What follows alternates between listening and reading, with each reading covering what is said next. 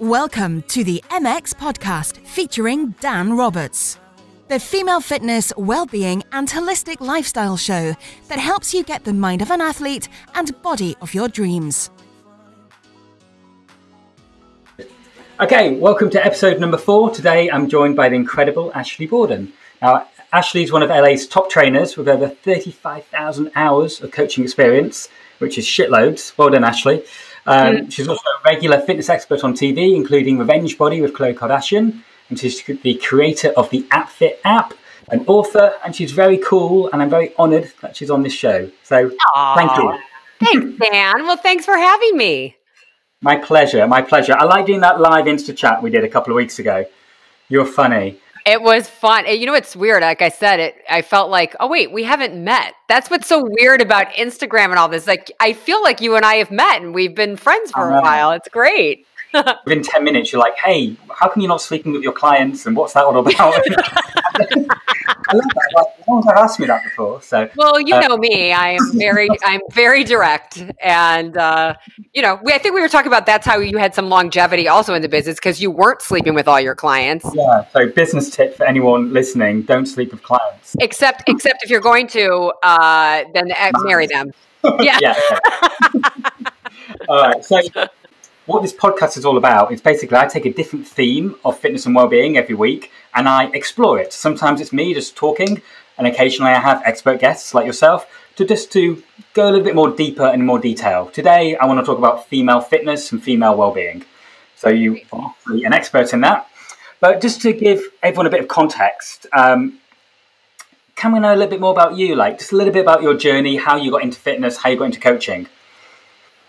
Oh, sure. Well, so I have been training now. I, I think you said 35,000. I think it's been almost 40,000 hours that I've been working with uh, oh, humans. Come on, Dan, give me that extra 5,000 hours. Um, but I really, I grew up around uh, fitness and health and all that. My, my mother owned a health food store, which was traumatizing in itself. Just kidding.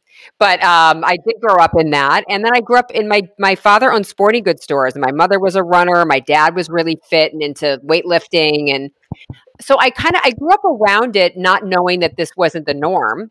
Mm-hmm. Um, and for myself, though, I I really struggled with um, food issues and stuff when I was younger, just because the way it was introduced to me was so severe, where it was like you are having no sugar you are not doing this, you're not doing that. And it kind of went the other way for me. And I ended up having a horrible eating disorder. Um, but I came out of the other side of that knowing that I really, really, really wanted to work with people for them to understand that they can also find like the same balance with exercise and nutrition and food and feel fit, but not feel like a freaking psychopath like I felt for some people. you know what I mean? Yeah.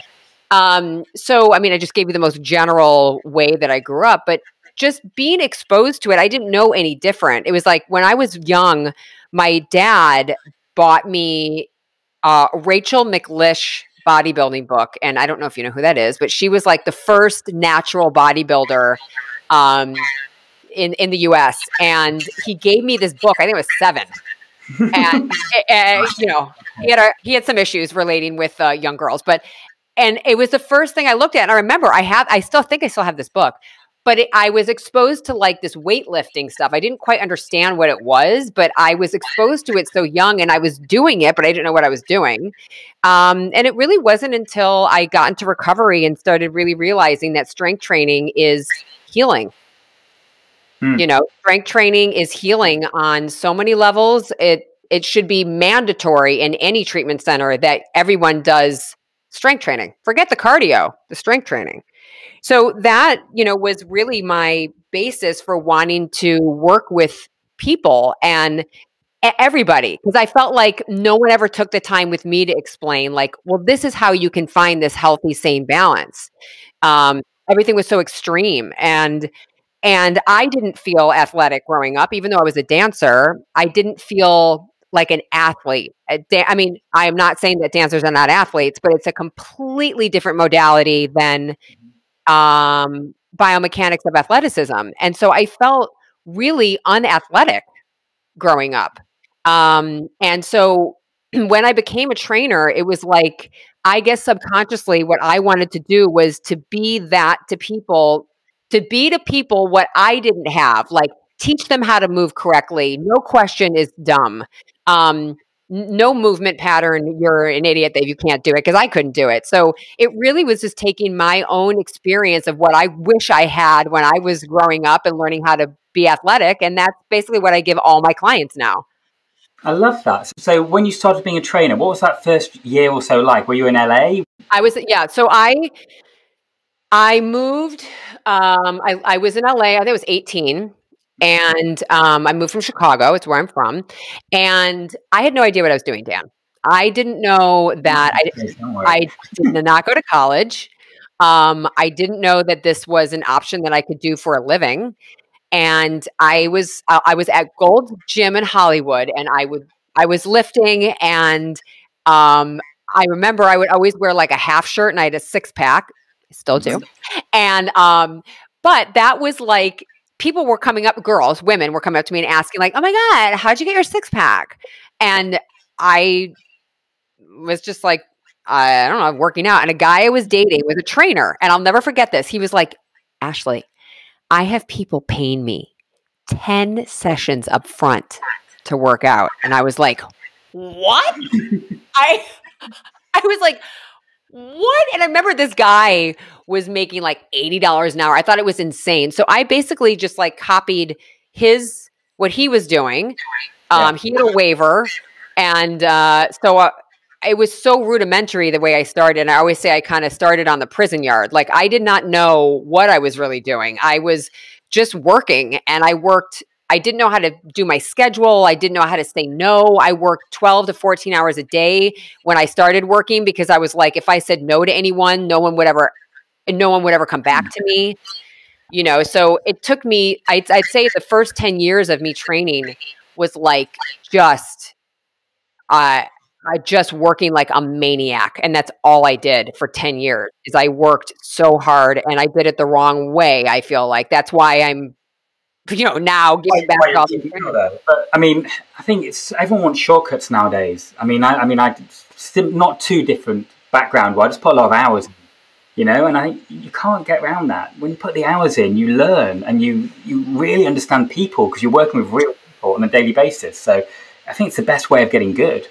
Totally. And Dan, it's like it's like for us, right? We work with people. Like here's what I, I think people forget you are trusting your life with me. I could kill you easily, paralyze you, or injure you if I'm training you the wrong way. Uh, uh, 100% being serious. And people tend to really take it for granted that they're like letting anybody be in charge of their freaking body. You know, mm-hmm. I've been injured, so I know what it's like to have not somebody paying attention or not know what they're doing or load too much weight or not be able to cue you the right way. And the experience of training people, and it's like a doctor, right? I'm not saying I'm a doctor, but you want to go to somebody and it's their first day and they've never been with a person and they've just been with a book? Yeah. Also, mean, also right? psychologically as well. I mean, if someone's got problems with eating or self esteem, you can say one phrase which triggers someone into a oh. nightmare self loathing. Oh. So it's a huge responsibility. I'm with you on that. You know, it's interesting. I, I, remember I had a client that I trained for many years. He was male. He was very sensitive to his body issues. And he and I had lost 40 pounds, right? He was doing great. I am very aware of every single word I say to my clients. Nothing that flies out of my mouth is by accident. And so I was very conscious of how I would say things to him. I would say, you know, you look great and focus on his strength. I had a, a trainer come in and sub him when I was gone, this guy who was doing boxing with him. And my client had told him, I felt really good because I have just lost 40 pounds. And this boxing instructor said to him, Yeah, you have another 15 to go. Oh, what a dick. So let me just tell you the spiral that it threw my client into, oh. the alcohol drinking spiral it threw him into, I had to step in. We had, and I'm not I'm not kidding. I had to fire him. I had to explain to the guy what he did. I had to unravel all of the mental work I had done with this client for so long. And so, you know, I just think people don't quite understand all the levels that go into being a freaking trainer that mm. is beyond just your ability to program a workout. Yeah. True. If you want to have some longevity and you want to have a client last longer than a day. So let me ask you this, because you've, you've been in industry a long time, and I want people to get some sort of practical insights. How have, have your kind of methods of training? I know your philosophy hasn't really changed that much because you've come into it in a really empathetic mm-hmm. way, you want to help people.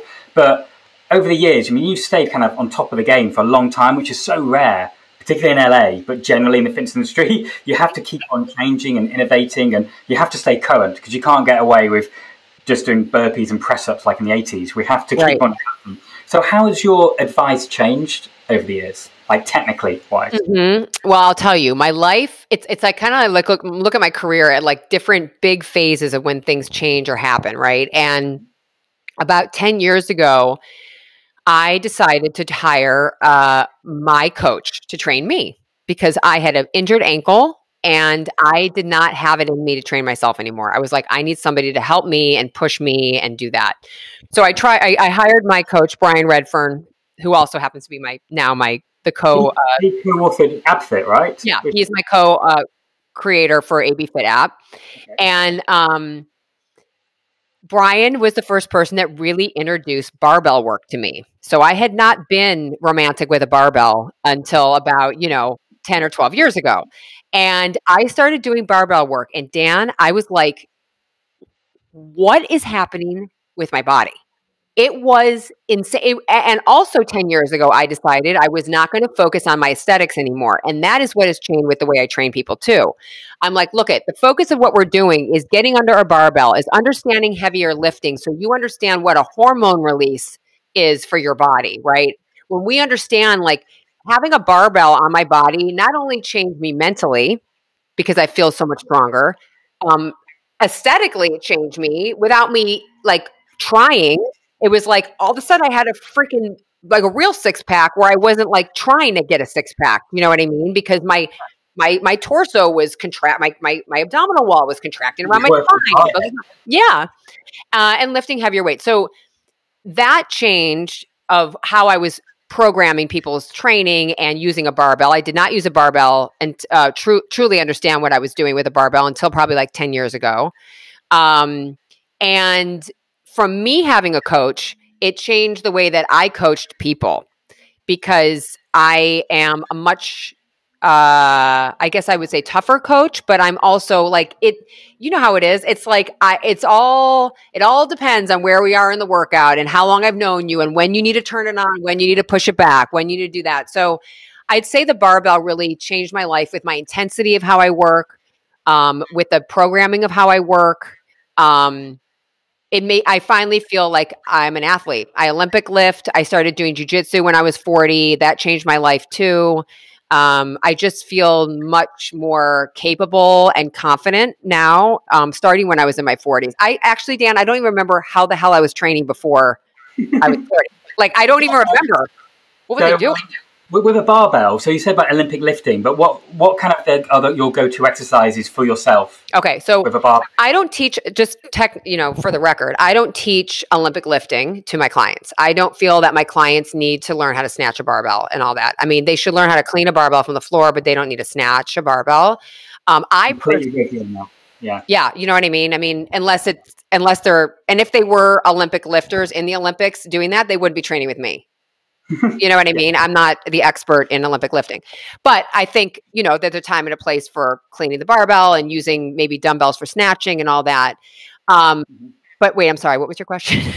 Just asking what what exercises because not everyone listening knows oh, okay. different types of exercises so, are. Okay, so I would say like you know a lot. So a lot of my programs with my AB Fit app programs are all uh, programmed around barbell work, dumbbell work, gym work, um, and uh, uh, stuff in the gym. So for me, mm-hmm. the major moves that I love, I love strict pressing, which is like you know strict pressing above the head. I love back squats. I love front squats. I love bench press, um, deadlifting. I love deadlifting.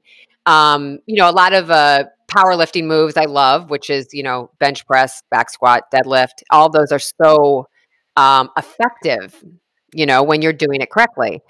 So just ha- you know using a bar and it's funny because here at my house we built uh, we we installed a uh, a rack and we So, that's so cool. yeah this one we have a rack behind me but we but we only have a 45 pound bar so i've been just you know not working with a 35 pound bar i've been working with a 45 pound bar so i've gotten all of a sudden a lot stronger very quickly and doing that That's but cool. you know i i all my clients um when i'm explaining them and teaching them that that is what i feel has changed that i really explain why we're doing what we're doing because Mhm. when you understand why lifting heavy is effective and important and healthy for your body heavy in in in uh, relation to anybody's strength then women especially are much more apt to be like oh oh that's why we lift heavier is because of this hormone release and because oh i get more of a core harder core and i and i have lower body fat and like oh okay that wasn't explained to me and that's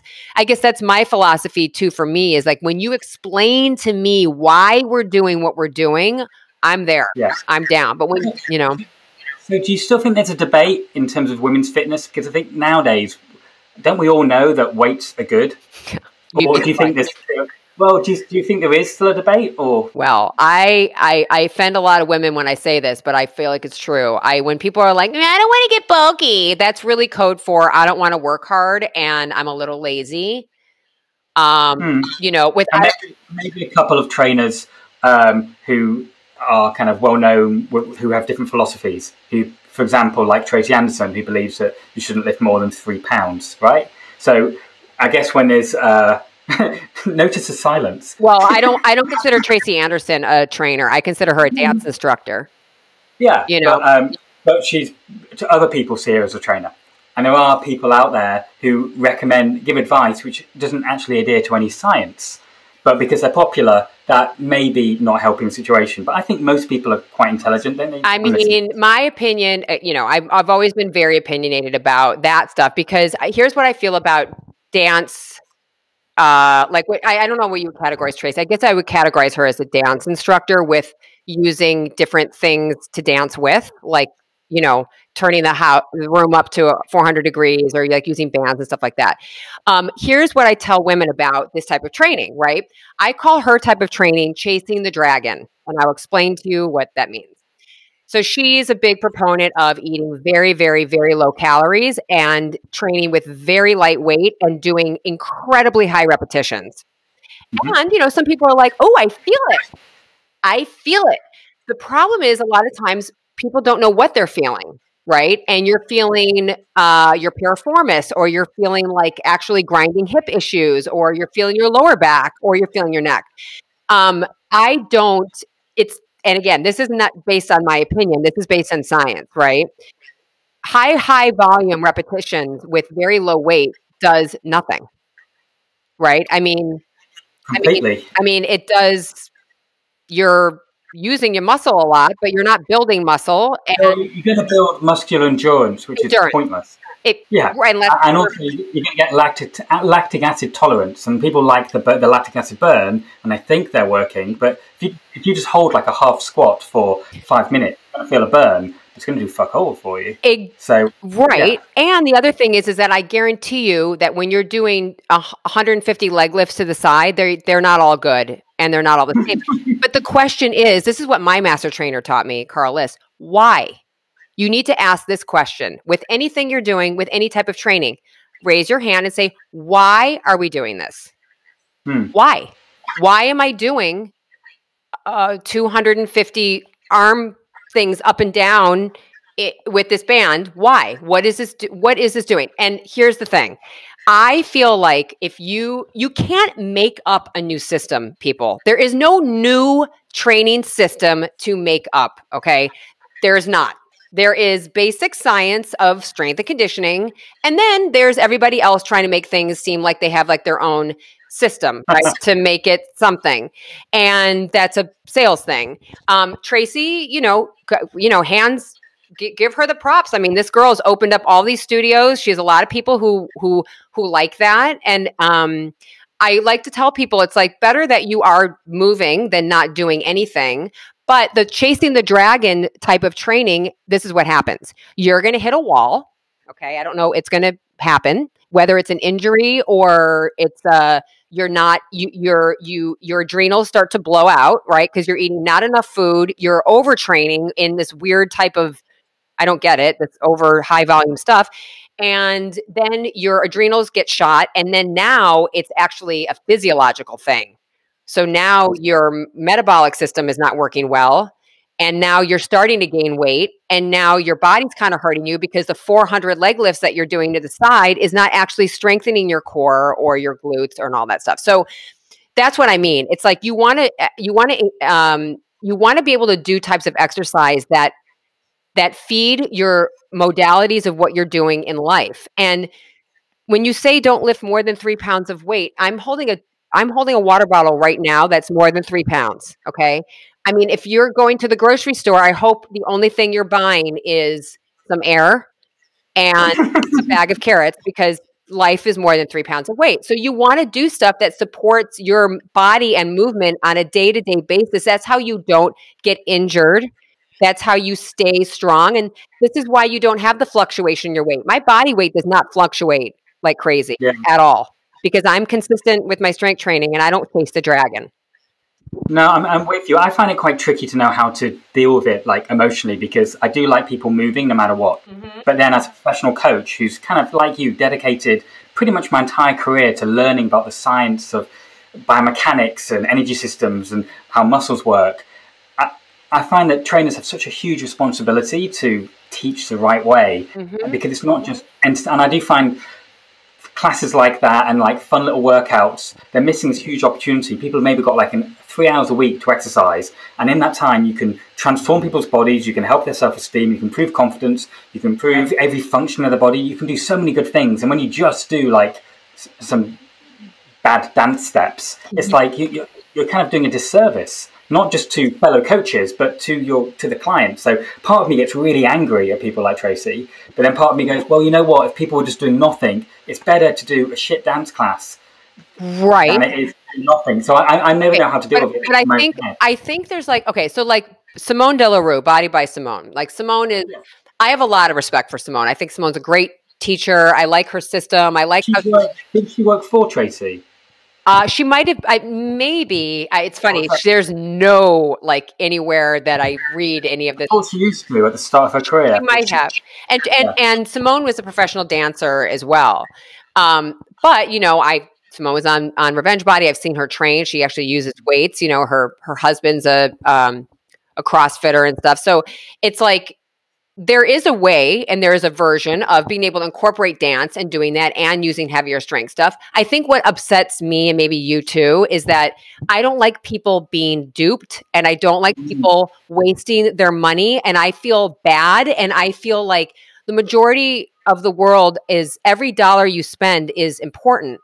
And I get upset for people who spend their money like you know, maybe buying all this trade. Me- I mean, and by the way, Tracy Anderson's memberships are a fortune. Mm-hmm. I mean, they are they're a fortune. And then I feel bad. Don't make me cry, but I feel bad for people who then don't know any better and they're struggling and they're like, why isn't this working? You know, it worked for Gwyneth Paltrow or whatever. And by yeah, the way, can I, can, I, can, I, can, I, can I just say something for, for the record here? You guys, who gives a fuck what works for fucking Gwyneth Paltrow, what works for fucking Jennifer Aniston. It's not you. Yeah. Like, unless it's your identical twin, this is what I tell everybody. Unless it's your identical twin, then you could take a look and see what they're doing and see if that will work for you because you have the exact same genetics. Other than that, is the biggest waste of your life to sit and look at whatever somebody else is doing and see how that can work for you. That's also why we, uh, well, the public, we have to take responsibility. We can't just bitch about trainers maybe using PR or spin or it's like we have to actually be apply a bit of critical reasoning, Google's people's qualifications and their experience and their philosophy, and not just believe the PR spin or if they're in a magazine or if they're in a TV show, they must be good. Right. They, I think the public have to take responsibility as well, not just the industry self-regulating. And and do you do you look at it like do you know any professional athletes that take Tracy's classes? No, of course not. Oh. I mean, I mean, she, she's considered a joke in amongst my in, in London anyway. Well, complete joke. But and that's and so that's what I think is it with you and I. Like when I look at anything in my my career, or my fitness is I think oh, what would Dan think if he was looking at this? Like I always look at it from the view, seriously, from the view of other experts that I have respect for that because that's who I care about looking at my shit is like what do other experts think about what I'm producing and is this legitimate and is this is this right? Is this, you know, um you know and i think a lot of I, I, think some people were like oh you know other trainers are being haters because uh she's has gyms or whatever but you know financial success is not necessarily the barometer for everybody's ultimate goal my first goal with everybody i mean my first goal in a general sense is the respect of my peers that's the most that's number one before anything if i had no respect for my peers i would have it, it, it would be soul crushing for me. So, what, what kind of train, what trainers or strength coaches do you look up to at the moment, which people may have not heard of? Uh, um, oh, you mean like on Instagram? Just anywhere. Well, I mean, like lot, so, like my so so my initial coach, my my my mentor that I had that changed my life. His name is Carl List, K A R L L I S T. I don't even know if Carl's on Instagram or whatever, but Carl was my mentor. And I studied under him like, you know, I learned, I, I, I he, he was on such another level. I learned so much for him. Um, but then, you know, it's been different uh, phases along the way of my career of what I'm learning. So, like an ex boyfriend that I had that was an excellent, excellent strength and conditioning coach, terrible boyfriend terrible boyfriend, but great strength and conditioning coach. And yeah. I learned so much from him with strength and conditioning. His his name was Justin. Ha- was he's still alive? His name is Justin Hagen. Um, he's, I don't think he's training anymore. But um, now, I mean, I, I I don't off the top of my head because I follow them, but like, um, let me think of who I'm looking at for strength and conditioning stuff. I, I look at I like to look at Squat University a lot for how they break down all their squat stuff and learning things with that. They have a lot of great programming in there. Um, BJ Gaddour, but BJ doesn't do strength conditioning. He does like uh, other forms of like hits training and stuff like that. I have to go back. I I, am now I'm under. I go back and look at the names of people. Um, I don't know. I, I know their Instagram. I don't necessarily know their names, but you know, if if I'm looking at Instagram and I'm seeing a corrective thing with a barbell path, or like I'm I'm seeing people writing about Olympic lifting and stuff, that to me is very interesting, along with jujitsu. And you know, I just I like to look at different. Yeah, there's a lot of good stuff on Instagram now. Actually, if you look for it, there's a lot of really good stuff. A lot of good see coaches and guys with PhDs in kinesiology sharing how to do lifting. Now, really- now I'm looking and I'll see if I can, because I feel bad that I'm not giving the right people their heads up. I mean, I used to follow some, uh, a lot of really good rehab people. Um, oh God, I don't have it in front of me, but uh, I, I do. I mean, I feel like Instagram for me, I don't look this is this is something I a long time ago I stopped doing. I don't follow anybody that makes me feel anything other than inspired and like I'm interested in learning. Mm-hmm. If it doesn't even matter if it makes sense. If I look at somebody's page and it makes me feel like, what am I doing with my life? I can't follow them. Yeah. Um, which by the way yeah. can, ha- can, happen. I'm, I'm, oh my God, not, what am I doing with my life? But, um, I'm just, I'm, I, to me, I'm just really more inspired by how heavier strength training, uh, makes me feel. And mm. I'm, I'm, it, it's the feeling, you know, it's like we didn't have, so I didn't have my I didn't have the uh, setup with our rack in our house for the first couple months of this pandemic, and um, I was doing, you know, like I was using dumbbells and body weight stuff. I have a body weight class I teach twice a week called the Body Foundation, which I f- love, and that's great. But mm-hmm. when I finally got this rack and we started lifting again, it was like, oh, like the next day when I woke up, I was like, oh, this is what I missed. This feeling it's a physiological yeah. feeling that you can't replicate with anything else you know? Um, and eh, so for me it's like i really see the correlation between also my mental feeling mentally strong and lifting and doing that especially right now you know and with jujitsu. Yeah yeah well you've got a nice balance now yeah. of the strength and coordination and agility. Um, I've got a couple, couple of questions for you. I've also got some questions from people I asked today on like social media If I had any questions for you. I had quite a few people asking questions for you, so you're very popular amongst people who follow me. but um, I've got a couple first. Yeah. Do you train? Um, do you train men and women differently? I well, I my approach. Well, because Yeah. me, it's a ment- it's mentally like, do I train them differently as far as the programs and how I cue people and I evaluate their body and I look at their feet to see how their arches are and all that? That's all the same. Um, How I deliver the information to you is different, all depending on the person I'm speaking to and the type of person they are. You know, I mean, if Are, I'm there any, are there any general differences do you find between men and women? Are there some things you find yourself generally being a bit more inclined to program certain exercises to women, or a bit more inclined to avoid certain exercises? Or I, I, I do find that I do find Um, it depends on the being- Okay, it depends on the person. Like if I have somebody who's starting with me, if I have a female that's like, you know, um every time I lift, I feel bulky in my legs. Like if I hear that, right? Or they have like a shorter muscle belly. Um Yeah. I explain to them that I have what I call the magic uh, combination, and that is called foam roller and Mhm. your weights. And that when you use a foam roller, like I, you know, am so hardcore with my clients using, it is like, oh, okay, so these this lactic acid buildup is that's all it is that's making me feel the sausage feeling. And so a, a lot of it with women, I feel like I have to explain ahead of time what we're doing. And I also use me as an example. I'm like, look at me. Do I look bulky?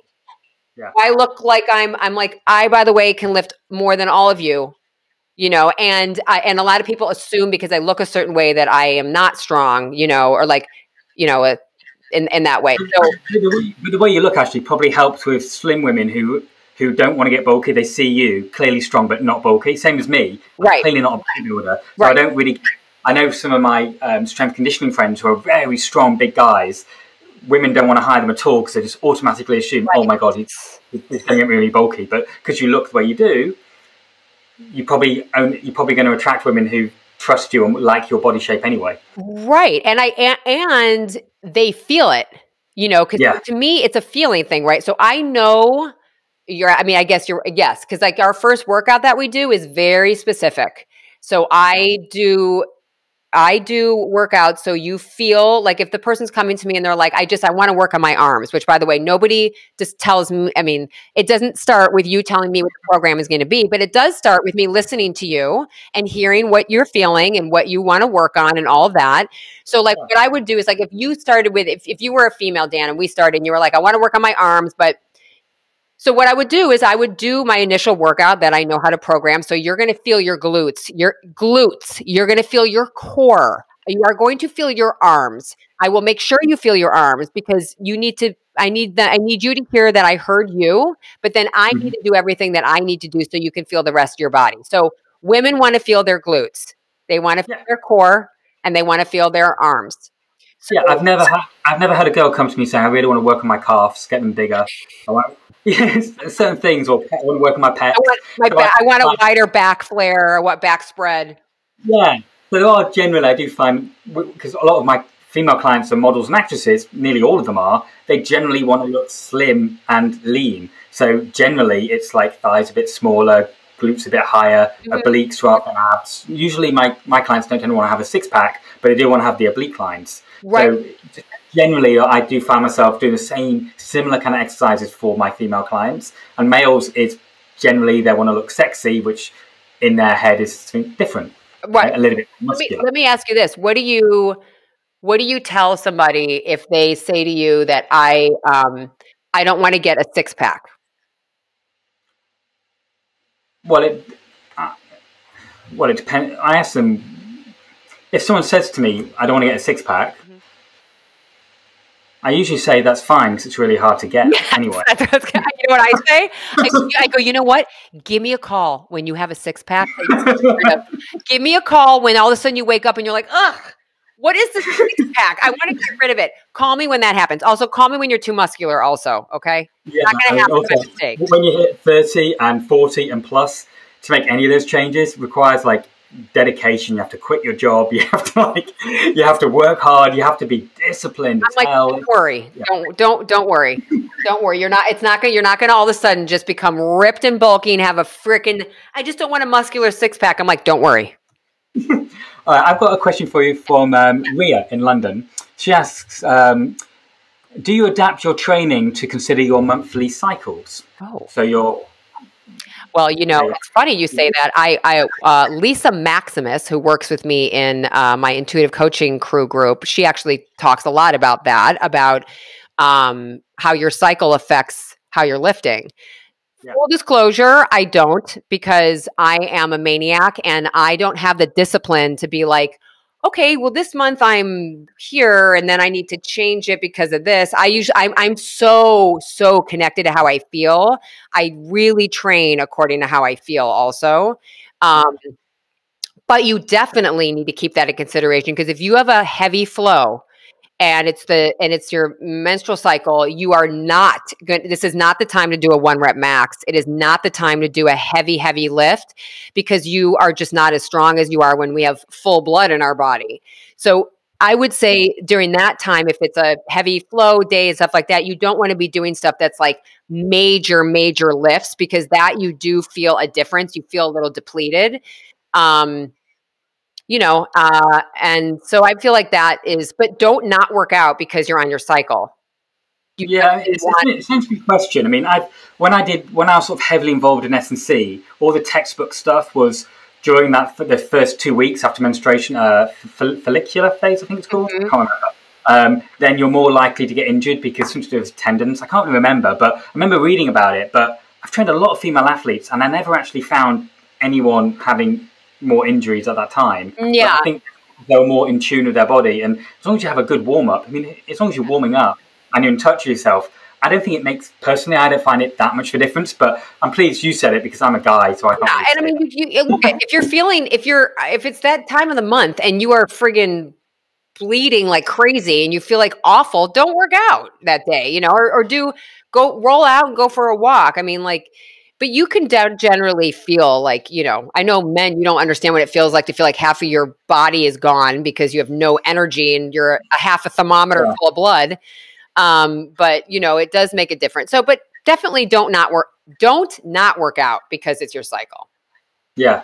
I think as a coach, I do notice obviously when you sort of train, I train most of my clients for four or five times a week, mm-hmm. so you get to know them, and yes, very quickly you get to know um, when people have cycles, usually in my experience, there's some kind of uh, effect psychologically as well. So you get to pick up on that as well.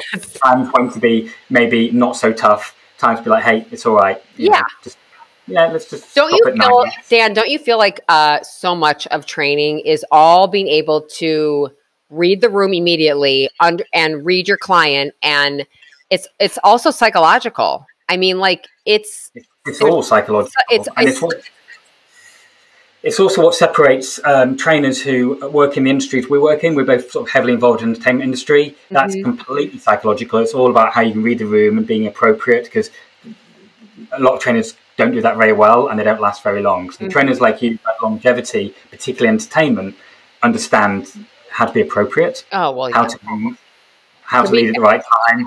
Yeah. I mean, that's, that's right. that that you can't. You know, it's like I always say to trainers that are like, you know, I want to work in um, entertainment or I want to train celebrities. It's like, uh, you have to want to work with anybody first. Mm. You know, I mean, like you're, you should be saying, I want to help everybody. I want to work with anyone.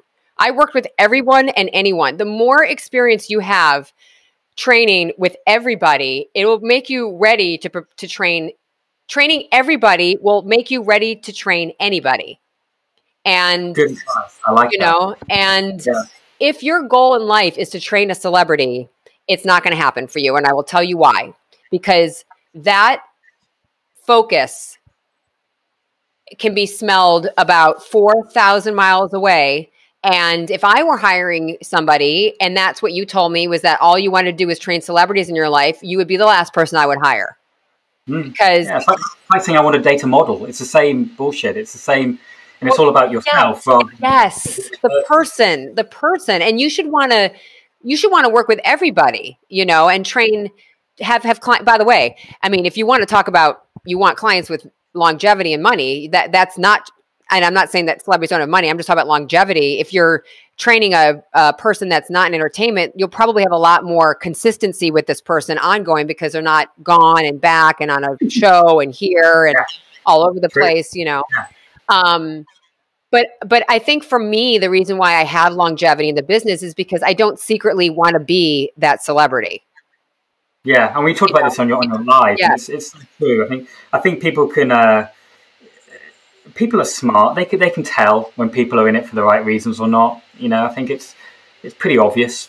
You know, if someone's legit doing things for the right reasons, someone really cares. I think it's it's very hard to lie about that. Maybe you can do it in a half an hour. You could lie about your personality, but in terms of all the content we produce and uh, just the way you are of clients and reputation, you, you have to kind of yeah you have to be honest to yourself and um, that's why there's natural selection in a way a little bit exactly and you have, and you have to be a team player like yeah. I, you really have to be able to work with other people. And if you can't work with other people, you can't work in the entertainment business. Uh, mm. because it's a bunch of different types of people. And if you don't, it's I'm going back to the same thing again, which is you have to know when to push, pull, turn your light on, dim it down a little bit, be there, not be there, be be very invested, be a little bit more quiet in the background, be the energy, not not be the. I mean, like there's so much that goes on. Um, you know, like I remember when I was on tour with Christina Aguilera, um, and this was like back when I used to train her back uh, years ago, but um, we were on the tour bus and uh, we had been tra- traveling for a long time and on the bus, and so I, I, walked up to the front of the bus to talk to the bus driver because I was like desperate to have conversation with anybody else other than the same eight people that we've been with forever. So I went up to the front and I was we had to pull the curtain back and I was talking to him, and I was asking him like you know about the bus and like has he been is this his bus and has he been driving? How does he stay awake and all this stuff? And then the curtain opened up and it was Christina and she came and sat next to me and we were talking with this bus driver and I remember afterwards, she asked me about like, you know, making or talking in small talk with people, you know, and like, like it was, it, it was almost like, because it was almost like when celebrities and all this, it's like people insulate them so much, and they're like, "No, no, no, I'll do it for you. Oh, no, no, I'll go downstairs and get the thing. Oh, no, no, no, no, no, you don't have to go talk to the doorman at the front. Let, let me do it for you." Yeah, yeah. particularly on tours, yeah, they're completely wrapped in cotton wool and.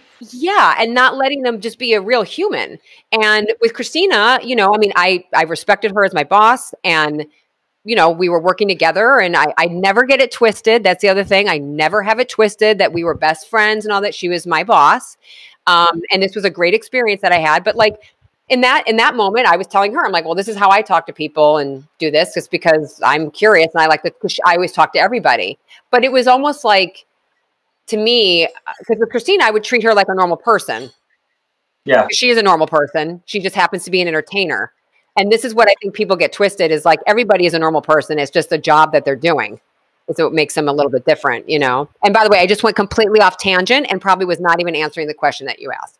No, that's all right. I was chatting. But, you know, I mean, I mean, I, I like working with everybody, but I have found myself in the last sort of like seven, eight years, like my, my clients have sort of ended up being entertainment and particularly young people, people in their like early 20s. And mm-hmm. I, I, really like it because I feel like I've got um, a really sort of special place because I can be like a big brother to them. Yes. And when people yes. are like so very famous and very young, they I love that very too. Hard, very hard to know how to trust because either people want something out of them, either they want to sleep with them, or they want to make money off them, and I don't want any of that. I literally yes. just want to feel good about themselves. So I get a lot. Of, usually, my clients open up very quickly to me and open up, and they trust me, and I feel in a really privileged position of these very interesting, creative people to actually have an input, and it's such a, a privilege to have an input in someone else's life, and it is when you're very rich and famous and young, you can't really bitch and moan about it because no one's going to go, "Oh, poor you with your 5 mm-hmm. million. But I get it, and everyone everyone has hard times and you know and worries and fears. No matter what, how they um, no matter how they seem on the outside, everyone has problems, and it's like I feel like I could be like a confidant and I can help them and. And often in people's little groups, you know, every famous person has about seven or eight people in their little group. Not all of them have their best interest at heart. A lot of them are on staff and they're just a lot of them and take advantage. So I feel like I can come in, and because I'm not full time to that one client, they're right. just one twentieth of my PT income. Then I don't give a shit if they pay me or not. And this is so. Uh, this is exactly you and I are so much alike. And I think you just verbalized the way that that's exactly how I've, that, oh, sorry, sorry. Uh, but my dogs are barking, but that's exactly what I felt like dur- during uh, when I was with Christina. Is that I I did feel like um, I wanted to really help her in that way because I I there were so many people around, and I really really d- did care about her. Uh, as a as a human. She was very young and had all this responsibility, and and you know now she's a mom, and I feel like she's probably a great mom because she was a even though she was young when we when I started training her, she was still a teenager. I think she's still eighteen or nineteen. So it's a, and I agree. I love that age because I I also feel like there aren't un, enough of people like us out there that really do want to take people under their wing in a way that you also like care. Hmm. You know, like I love, I, you know, it's funny. The demographic I've been working with a lot are 15 year olds. Really? And yes, and I, uh, 15 year old girls I've been working with a lot. Um, yeah. We had started, my boyfriend and I had started right before the pandemic. We started working doing self defense with this group of these 15, between 10 and 15 year old girls and doing jujitsu. And it, Dan, it was like I'm like, oh, this is what I love it. That's the most impressionable age. So if you can get in there for like a 13 year old where you can actually have such a huge impact on the rest of their life. Oh, it is so amazing. And so with these, so we obviously we can't right now. We're not doing jujitsu together, but a lot of these girls ch- uh, changed over to doing strength training with me during this time. So we're doing it virtually.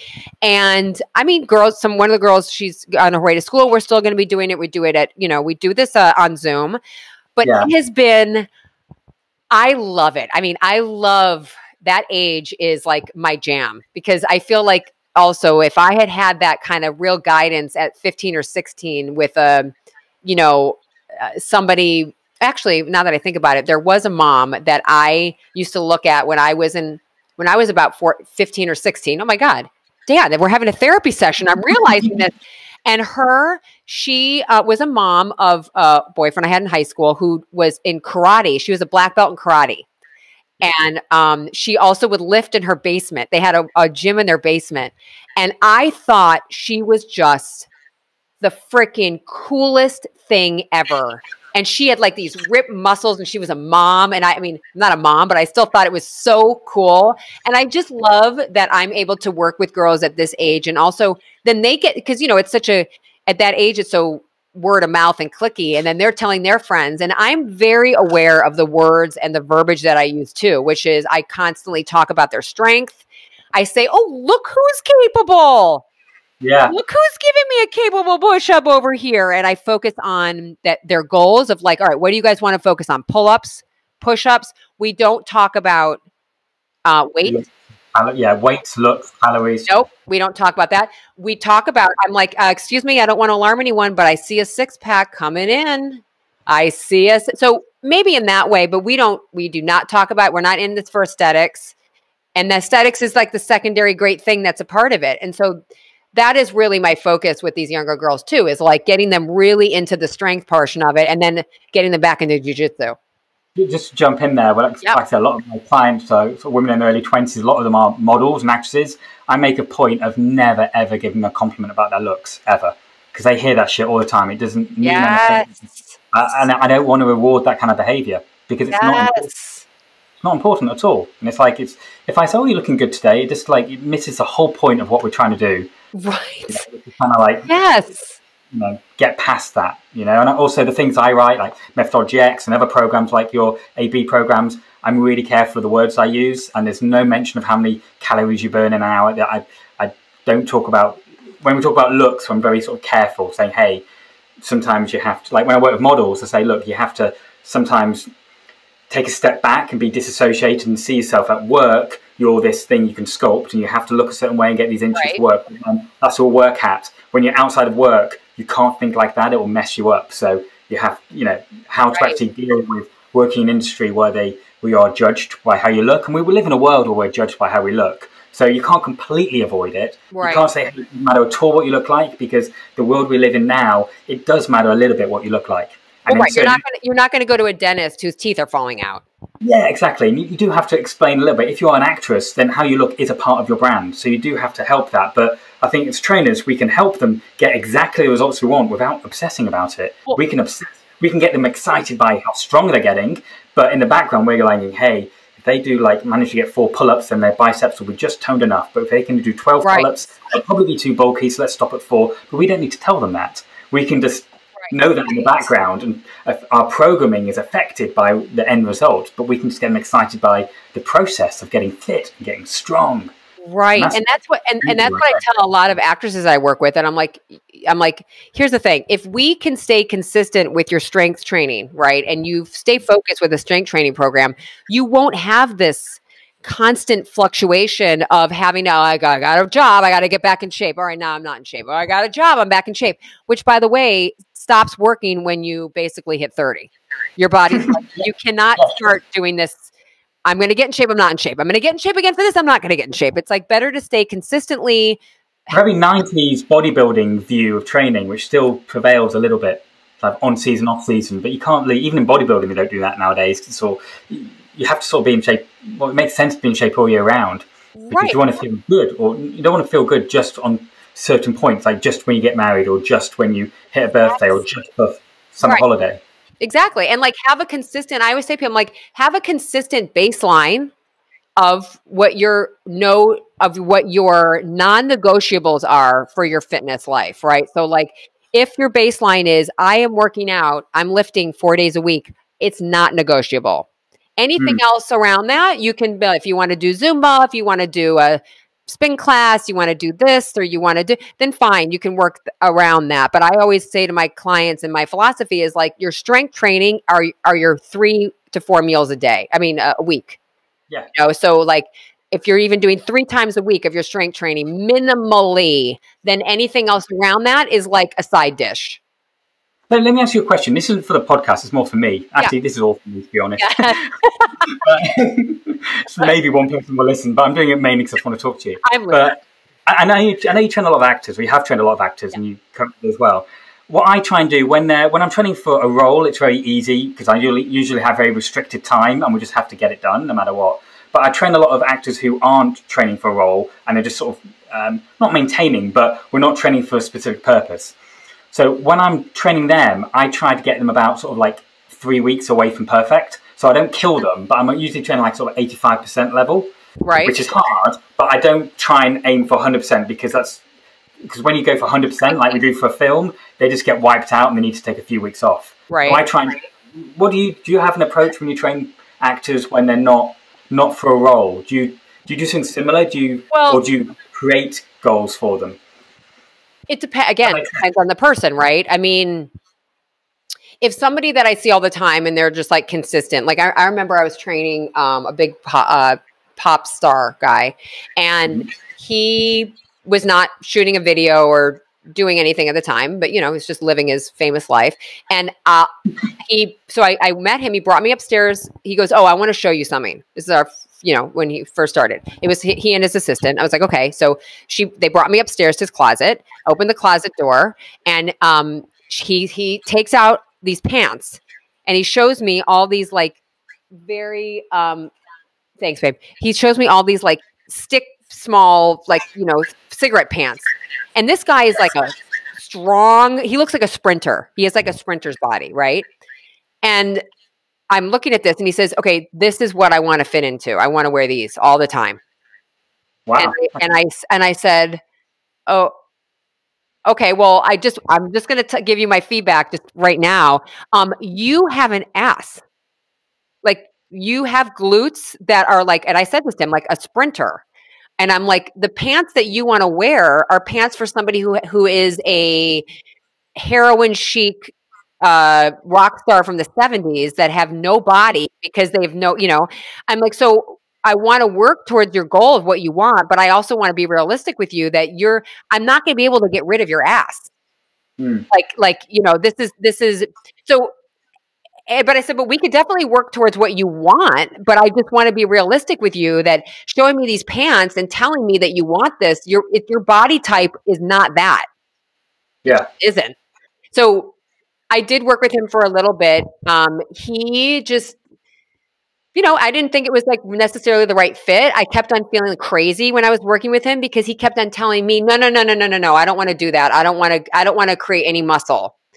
And I'm like, "Dude, I, you already have so much muscle. I'm not creating anything." But so there was a big disconnect with, I think, what his goals were and what I really. That does happen occasionally, yeah you know but i feel like you need to be honest with people and you need to be because that's what people respond to in this business and our business is that if you're a liar and you are just saying yes to people because you want to work with them but you're not really helping them then you also don't have longevity in the business in that way you know so um you know i i I am re- very realistic with people and I definitely help them to uh, get closer to what they want. But I also am like, let me, ex- again, it goes back to the same thing. Let me just explain to you why.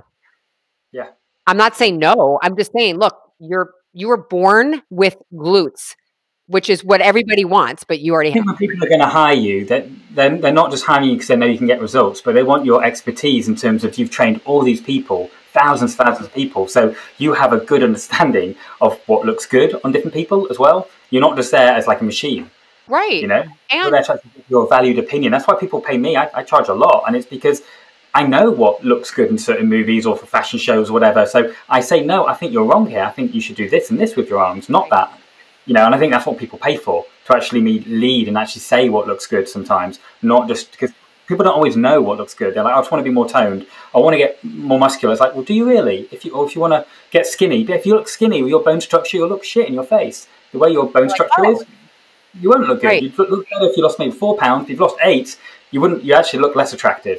And I think people, me just being honest about that objectively, is why people kind of would trust me because they're paying for that experience, not just me going, oh yeah, I can do that. Like mm-hmm. in the start of mm-hmm. my career, I was like, you know, the first ten years I was like you, just learning, and then the next ten years after that, it was like, you know, you you learn to set boundaries. Initially, yeah, you set boundaries, and you and you sort of only recently, last sort of seven, eight years, I've become like, no, that's not happening. This is we're going to do it this way because I know more than you. Right. I mean, I, I, I usually say to someone, I'm like, look, last time I looked, you came to me. I mean, it's just like you just came to me. Um, but I'll, I'll, tell you, you know, you were asking about like with clients and keeping uh, if if they want to stay in shape or how how how to motivate them.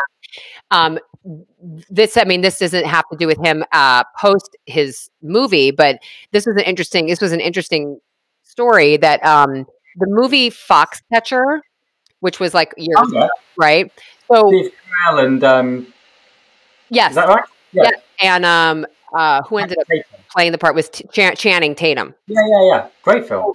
So when it first started, right, um, Bennett Miller, who is the director, had been reaching out to different trainers to mm-hmm. see. It was originally Ryan Gosling who was playing this part, and yeah, you um, Ryan, right? Didn't you used yeah, train Ryan for this? Ah, so, really? What was so interesting was the the way that they went about it was the director was looking for different trainers, right? They're interviewing different trainers. Then then that he so then and then and then he would select a couple, and then we ended up having to be interviewed with Ryan, and then they ended up hiring me, and they hired me. Um, but what was so interesting was that Bennett had sent pictures of wrestlers from the 80s, and he said he needs to look like a authentic wrestler from the 80s, not now, not an MMA fighter now, because back in the 80s it was a completely different look, which I thought was such an fascinating goal. You know, yeah. make it specific to the time. Um, yeah. But Ryan had to wrestle. So I had to bring on a wrestling coach. I had to bring on because Ryan was not a wrestler. Um, and not a wrestler at all. Not at all. Like the opposite of a wrestler. Yeah, and it was just it. And I actually don't know exactly why he ended up not, you know, why he ended up not doing it or pulling out uh, midway. But, um, you know, I mean, it was a huge physical commitment to doing to doing this. What, what's the wrestling in the eighties? Is it just a lot bulkier? Is it? it? Is it a lot like thicker neck? They looked bigger. They didn't look as ripped. Um, yeah. It didn't. They it did because it didn't look like they were lifting, like they were benching and stuff like that. So it didn't look like a proportionate body. It looked. Yeah. It looked a lot more lat heavy to me at the time. From really big lats, really big traps, I imagine. And, yeah, and thick, real kind of a thicker look, and and the two, yeah. and they he was uh, looking supposed to look like one of the brother or both of the brothers, uh, one of the brothers that were the wrestlers. Mark Ruffalo, wasn't it? It's Mark Ruffalo played the other brother. Yeah. yeah. exactly. Um, so I thought that was so fast. I mean, that was such a great, uh, you know, challenge to do that. Um, but you know, I mean, like, and and by the way, that's another thing, right? It's like if you have a bad reputation and you are don't you don't return calls, you're not on it, you're you it, you can't work in this environment, people. I mean, this is what I mean. It's like it's beyond just being a trainer. You have to be a business person. You know, mm. you have to you have to conduct yourself like you're also in a, a business outside of it because there's a lot that rides on. I mean, you know, Dan, it's like you, you, it's okay this is what it comes down to. It comes down to the word self-regulation. And if you don't know how to self-regulate uh, you can't be you, you can't be at that level because no one's going to tell you okay dan we're hiring you to be on set. Okay you're going to train ryan today. Uh, we're shooting from 10 in the morning until 9 at night.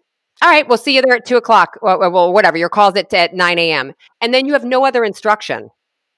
So it's like you need to now figure out when are you guys training? What's going on? Where are you going to work out? What does Ryan want to do? Or whoever, you know, I mean, there's, and you can't be annoying. You can't ask too many questions. You need to be an asset, not a liability. Don't be a pain in the ass. You know, I mean, like, there's so many things that go into being part of a team and working at this level that I, I with trainers all the time to explain that. It's like you have to look at the bigger picture with everything. So I've got a couple of, I know it's been quite a while, I've got a couple of things before I, I let you go. Mm-hmm. Um, one thing, just sort of touching on there, because I know I've seen recently you set up your, I forget what it's called now, like a, like a mentor. I know you've been mentoring trainers for many, many years. Coaching crew. Coaching. Now, is that something you want to move more into in terms of helping trainers out? Oh, yes. So I have been privately coaching trainers with their businesses for years, yeah. um, where, uh, you know, one on one. And it's like a gift I have. I love it because I also operate from the mentality that there is so much abundance. I don't need, I don't feel afraid to tell you everything that I've learned to help you be a successful, eh, you know, trainer and doing everything that I, I did wrong to do it right. So I created this group about a year ago called the Intuitive Coaching Crew and we have a, a, instagram presence that we work with for all social media part of it but then i also do the private coaching. And um, it is and i'm actually just about to launch uh, our new page with it and all of this new information with the intuitive coaching crew but you're going to grow this as a brand are you? Or as a, as a business yes and actually um, it is going to be this is actually going to be a five part course that is going to be for sale um, online through uh, a company called Inspire 360 that I will be launching all of this. Um, and then we're going to be moving that. So it's actually going to be a CEC. Nice. So I will be able to. This is going to be an education as well, so people can purchase yeah. it and then learn about the business side. Because here's what's missing. Yes, you can become ACE. You can be NASM. You could be a strength conditioning sports, whatever. You could do all of that, but there is nowhere that you can get a book you can read a thing that's going to tell you all of the back end stuff of things that nobody talks about you know and and i remember for me that this started like way way way back i right oh actually when i was going to first tour with christina there was nowhere for me to ask anybody what should i charge going on the road i remember this i was like what i don't yeah i, I remember having that problem when i first went away abroad with client i was like what the hell do i charge them i had no idea Yes, exactly. and I remember there was one trainer that I worked with who was Bette Midler's trainer. This is again years and years ago. And I remember her name was Sujin, and she trained Bette. And I remember she told me that she charged her uh, X amount of dollars while she was on the road with her. And I was like, oh, okay. So that helped give me like a perspective of like, okay, where I could come in and start negotiating and doing all that.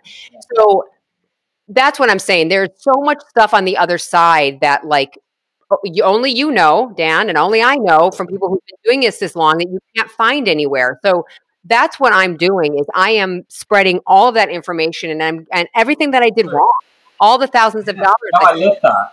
No, I've just found in my own career, I've got increasingly interested in helping other trainers out, and I, have written qualifications and stuff, and I'm, I'm finding it more uh, fulfilling. Yes. Helping, particularly like particularly trainers who not brand new trainers, trainers have been around for like 10, 15 years and they're stuck in their career. They're the ones I like. They've got their own gyms, they're doing quite well, but they've hit a plateau where they want to go to that next level. But they've put the hours in, they've done their 10,000 hours. That's the ones I like working with because the ones who just started, I'm like, yeah, just, just live in a gym for 10 years first because you just have to get good first, and, and then you can worry about branding. Exactly. Exactly. Well, of course, exactly. And I and we have people from all different levels of their careers. I mean, I have people that I work with that are gym owners that have been had their gyms for years. I have people who are have been trainers for a very long time who have hit a hit a wall. People who are starting. So trainers who are listening to this, they can join this, or do they have to apply? Yeah. So if you want, so the intuitive coaching crew page, you can direct message me on there and then I will kind of tell you what the walkthrough is of it. But everybody starts with me first, privately coaching. And then they do private coaching with me, then they go through uh, that process and then they're part of the group. So when they are on Instagram, you do not feel like you're alone. We are a huge group of people that we all support each other through organic, smart engagement um, so it also is a very um, smart Instagram side of it that helps the visibi- visibility of your page. Um, commenting on each other's stuff and supporting each other publicly exactly, well. Exactly, and, and really doing all that. So it's really supportive, and um, I would love to have you on, Dan, sometime with the group to uh, do a talk because I have to, yeah. You are like, like I, I said before, I'm like, are you me in a male version? very kind. Very kind. I, I want to finish. We've got a couple of questions which I didn't ask from yeah. um, a couple of people. One is uh, Felinda in Miami. She asks, "How do you maintain your muscular definition?" She's very impressed with your body. it's because, it's because I, I, I, don't, I don't um, um I don't, I don't eat, first of all, I don't, all, eat, I don't eat anything, anything that has partially hydrated oil in it. So I don't have, a, I don't have, a, I don't have a lot, of, a lot of inflammation, inflammation on my body. On my body. That's why That's you why notice, you a lot. A lot. Uh, you uh, see, I guess, more definition. I'm not a crazy person with like my macros and all that. I just have a general sense of because it's like my SOS food plan um, is basically my basis of how I eat, which is like you know, uh, colorful food that has some texture to it. I don't, I, am very anti inflammatory. So I take turmeric every day. Mm-hmm. Um, I roll out, I foam roll every day, and I rebound almost every day.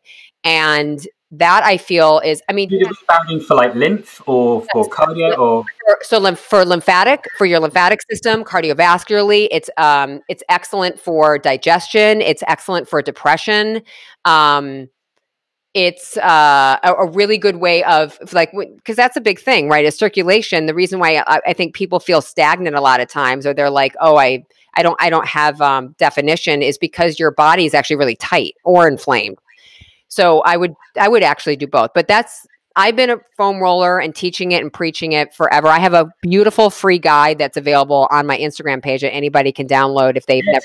Directed a few people on there. It's, um, it's ashleyborden.com, right? Is that right? Yeah, my website is ashleyborden.com, or you can get all the same information on Ashley Borden Fitness on Instagram as well. Oh, yeah. And final question I have for you this is from Gusharon from the Midlands. Yeah. She's asked similar kind of thing. How have you adapted your training as you've aged? So we know you got into barbells when you sort of hit 40, which was a, a few weeks ago.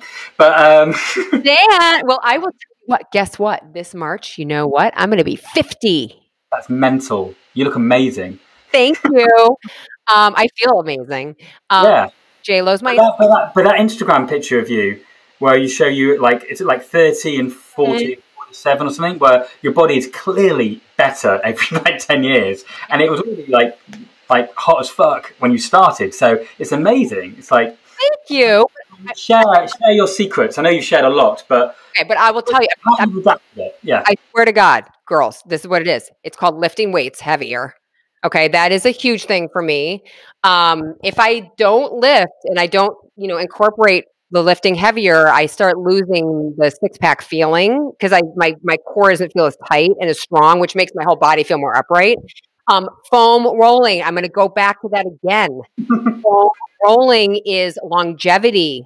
Okay, you can't just lift and lift and lift and work out and lift and never recover. So I'm very big on recovery as well. As you get older, your body's like, F off in the morning if you are not, you know, thinking about recovery. And if you lifted really hard or worked out the day before, you have to recover. So I would say as I've gotten older, I've added more recovery to my yeah. workouts uh, or my, my day. Um, I am very I, I, would say when i have like taking efas like taking udo's oil essential fatty acid i'm very big on um, udo's oil which is a 369 blend and that actually they have it in where you are too mm-hmm. um, oh and the rebounding so so my rebound so okay rebounding on the like the i use these uh, bellicon rebounders that i've used forever and the reason why i use just that is because of the bungees and the pressure on your body so when if you rebound on stuff that has like um, springs in it, it's not the same type of resistance on your body that that bungees are. So rebounding is also so much better on your face. If you run a lot outside on the hard pavement, runner's face, it, it, runner's face. Yeah. Mommy's not about runner's face over here. So I am on a rebounder because of my face. Um, and by the way, your people can get $50 off a rebounder. It's on my link. It's in my bio link if they ever want it. You have like a guide to rebounding or like a YouTube stuff and rebounding? Because I, I, was talking with, um, you know, Suki, who I, I was trying to get you to see at some point. Yeah. She's got a rebounder in her flat, and I was training her online in Zoom, and she's like, "Oh, let's do some rebounding," and I just refused because I've never done it. And I'm like, "Honey, I don't know what I'm doing. I can't." I mean, honestly, yeah, honestly, so, you know what you do on the re- you know what you do on the rebounder? You uh, three things. I do high knees, running in place. I do jumping jacks. I do rotation. You don't need to reinvent. Charging my money for bouncing up and down in front of me. It's like when I don't know what I'm doing, I just feel weird. I. So That's why you have you have ethics. But honestly, I do use it as like um I I do use it as like um you know like if if we had to do like a 30 second blast, I'd put them on the rebounder for like high knees for 30 seconds or like you know, like I use it in a rotation um, a lot, or it's such a because it's such good cardio. Okay. Uh, and you don't need you don't. This is the thing about the rebounder. You don't necessarily have to like you know, thing when people are like, I'm holding a leg and I have an arm up. No, you guys, just you know how to do it. What you do on the floor, right? If you run in place on the floor, you do that on the rebounder. If you if you if you jump higher on the rebounder, like with a jumping jack, it's more lymphatic. Yeah. That's the difference, right? It's more lymphatic. And then rotation, like if you're jumping and you're rotating or punching, like you punch, she punches. I mean, I know, Dan, I know you're like, I'm not, not unless I know. yeah, I'm not doing that. you don't, you don't need to be, you don't need to do cheese ball shit on it. Like I use it for like real cardio blast stuff. Um, I know like my boyfriend, when he was watching a soccer game, he just ran on it for an hour. Yeah, that sounds more what I would do on it. yeah. It's but it's a really, really good. Um, I am not about wasting money, and I get very upset when we talk before about people who are told to buy shit that is like, what are you doing? You don't need to well, spend. That's another thing I like about your website. I think you added it. I think a year ago or so. Yeah. I am, but you put like Amazon links of things like products and stuff you yeah. use. So it's not yeah. things you, like you've created, but things you use regularly and you share. I love that. I think it's a really nice Thank touch. You. Yeah, thank you. But that's but it is you. It's it's exactly the stuff that I've used for years. By the way, it's not like I've I haven't probably the same stuff that I've used for a very long time. But like you don't need to spend. Uh, look, I I don't believe in spending thousands and thousands and thousands of dollars on treadmills. You know, I mean, I'd rather you invest some of that money in buying some other stuff that you might need, um, unless you're like living in Alaska and you can't run outside ever. But you know, I mean, like a rebounder is not as expensive as a tre- treadmill, but it's it's such. It also brings you a lot of joy and happiness. It's fun. All right, everyone get rebounding. I love it. Okay. Outside of that, but I would, but you know, I would also say that, you know, you just want to make sure you're doing stuff that you like. Don't, if you're doing something that you hate and it feels like a punishment, all the things that I do for training, I enjoy. Yeah. And I enjoy, but there is a physiological and a science reason for uh, the things that I'm doing and why I like them, and also like you know why I'm going to be 50 and I'm still a fucking hot bitch. On that note, I could talk to you for like hours, but I think we have to wait. We've been an hour and a quarter. I'll let you have to get on with your job because I can't afford your hourly rate. So, yeah, I'm telling you, we, will do 40 more of these, okay? So we all can right. make them all. Yes. Oh, that was fun, wasn't it? I always like chatting to Ashley. She's always got good advice and good energy, and definitely check her out. Now, one thing I want to kind of finish on, uh, I guess the fact that both Ashley and I mentor a lot of trainers. It's worth me mentioning this because I imagine there are some trainers listening to this right now. Please focus on what you've got going on now rather than always thinking about the future.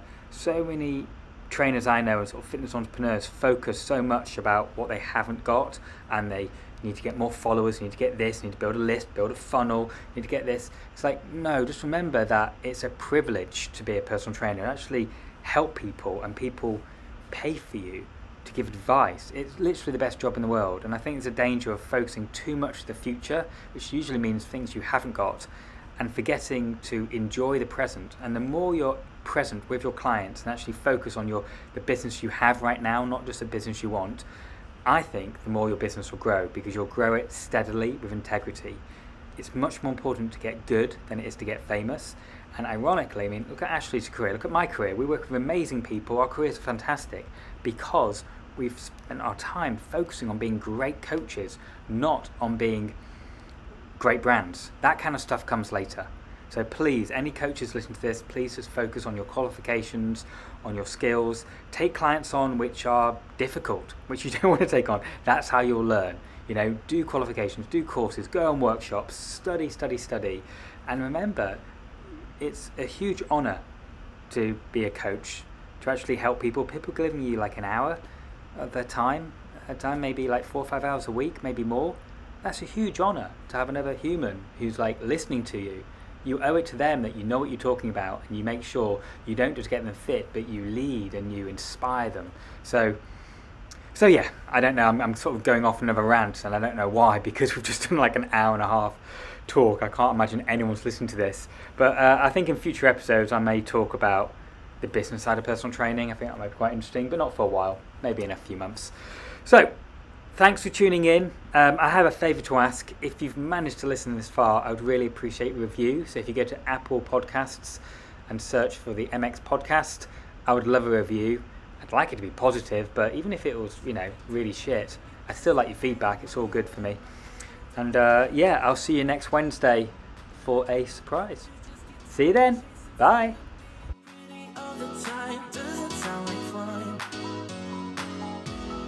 Thank you for listening to this week's episode of the MX Podcast. All feedback, reviews, and social shares are very much appreciated. To find out more about the Methodology X Online Members Club, our award winning MX Group fitness classes, or to join our global family of MX instructors, please visit danrobertsgroup.com.